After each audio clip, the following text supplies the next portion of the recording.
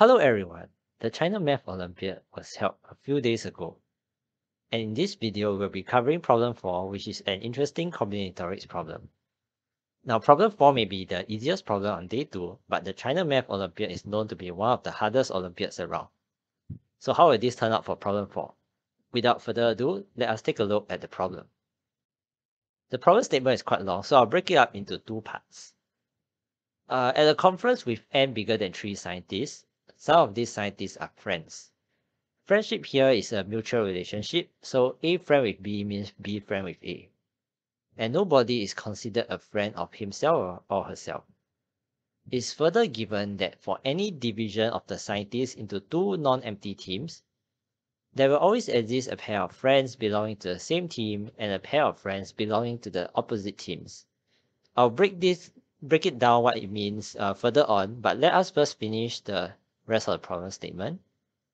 A proposal was raised on day one of the conference, and each scientist gave a score, which is a non-negative integer. Now, for subsequent days, each scientist's score is changed to the floor of the average of the scores given by all of his or her friends on the previous day. So prove that eventually, there comes a day where all the scientists give identical scores. A very long statement. Let's break it down what it means uh, part by part. So for the first part, is about uh, the conditions of friendship. Now when you talk about friendship, I think naturally we want to model the situation using a graph. So let G be a graph where each scientist is a vertex and and edge is drawn between two vertices if the corresponding scientists are friends. So for example, this scientist here has three friends. Okay, now let's break down what the statement means. Now firstly, I claim that G is connected and this comes from the last part of the statement. Because basically the statement is saying that whenever you divide uh, the vertices into two parts, right, there will always be an edge between the two parts. So if G were not connected, we can always put one connected component in one part and the other components in the other part. And then there won't be an edge between the two parts, which is contradicting the uh, second requirement here. So G is connected. Now what about the first con uh, condition that there will always exist a pair of friends belonging to the same team? Well, this actually tells us that G is not bipartite.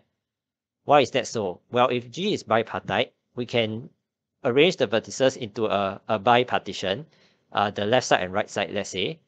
Then there will be no edges in the left side and no edges in the right side, and this contradicts the fact that there is a pair of friends belonging to the same team. So this tells us G is not bipartite, which is the same as basically saying that G has an odd cycle. Okay, what we really want out of these friendship uh, conditions is the following. Between any two vertices V and W, there exists a walk from V to W consisting of even number of edges. Uh, a walk basically is a sequence of uh, adjacent uh, vertices. So for example, uh, you can go from here to here to here to here to here to here, and this will be a walk uh, notice that I can repeat vertices that have been visited before on a walk. Okay, uh, why is this true? Well, suppose I have, uh, I mean, if I have a walk from V to W with even number of edges, I'm done. But let's say I only have a walk with an odd number of edges for a start. Then what I can do is, starting from V, let me travel all the way down to the odd cycle, do the odd cycle once, go back to V, and then take the walk that I found earlier. Now, by traveling to the odd cycle and back, that contributes an even number of edges. Doing the odd cycle contributes an odd number of edges. So it switches the parity of the uh, number of edges on the walk that I found initially.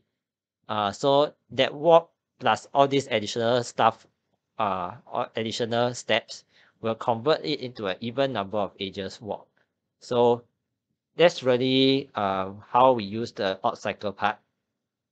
Okay, so now we are done with analyzing this friendship thing. Really all we need is this part. Let's look at the real problem. So basically the real problem is saying that we have a score assigned to each vertex, and on the subsequent day, the score of a vertex is given by the uh, first you take the average of the neighbor's score, and then you take the floor of that. So you round down basically, and you want to prove that eventually all the vertices have the same score. Okay, so faced with this, I think finding a monovariant or invariant is a natural idea.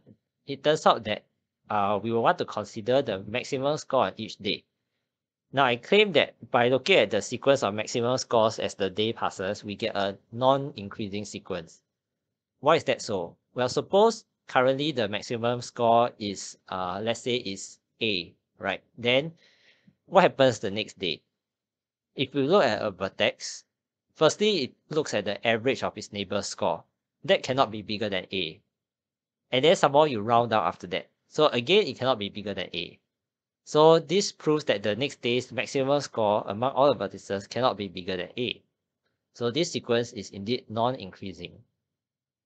And since the sequence is bounded below, I mean at least it's bounded by zero, right? So this sequence must eventually become constant. Let's say the constant value that it becomes is uh, capital M. And let's say this happens from day capital K onwards. Then I claim that uh, at this point capital K, all the scientists actually give identical score capital M. So this, uh, if I can prove this, I will basically prove the problem. Okay, why is this so? We'll prove this by contradiction. So suppose on the contrary that there exists a vertex with score strictly less than m. Now comes the crucial observation for the problem. Now from this special day onwards, uh, what happens is that if I have a vertex with score less than m, then on the very next day, so uh, yes, on the very next day, all the neighbors of W must have score less than M. Why is that so? Now let us take a look at a neighbor of W. It's computing its score. It looks at the average of its neighbors, which includes W itself. And this W has a score less than M, which caused the average to definitely be strictly less than M. And then you round it down, so it will still remain strictly less than M. So that that is really all there is to it. Uh, basically W has put down the score of that neighbor, and there's no way the neighbor can retain uh at a, a score of M if it was an M to begin with. Yeah, so that's uh the key observation. And how do we use this? Well, basically we have our vertex V here, which has score less than M uh on the day capital K, right?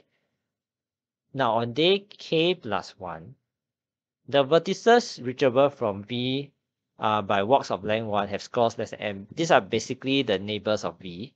Uh, by what the special observation is, uh, all the neighbors will have score less than m. Note that V can very well have score equals m. That, that doesn't matter for this uh, statement. I, I only need the neighbors for now. Then what happens the next day? Now the neighbors spread to the their neighbors, uh, by the way, which include V itself. So now vertices reachable from V by walks of length 0 or 2 have scores less than M. Note that the the immediate neighbors of V right need not uh, have scores less than M. I, I'm not claiming that. Uh, it has spread to uh, 0 uh, and 2 uh, length walks. So Let's continue what happens after that. Now on day k plus 3, vertices reachable from V by walks of length 1 and 3 have scores less than m. And so on and so forth. After a very large even number of days, uh, vertices reachable from V by walks of length 0, 2, 4, 6, and so on until 2l have scores less than m. Now recall that for any vertex, uh, it can be reached from V by a walk consisting of even length. This is what we proved in the one of the very first few statements. So with a sufficiently large even number, it will actually capture all the vertices in the graph. So this means that exists a later day where all the vertices have score less than m. But this means the maximum score is less than m, which is a contradiction. So this marks the end of the proof.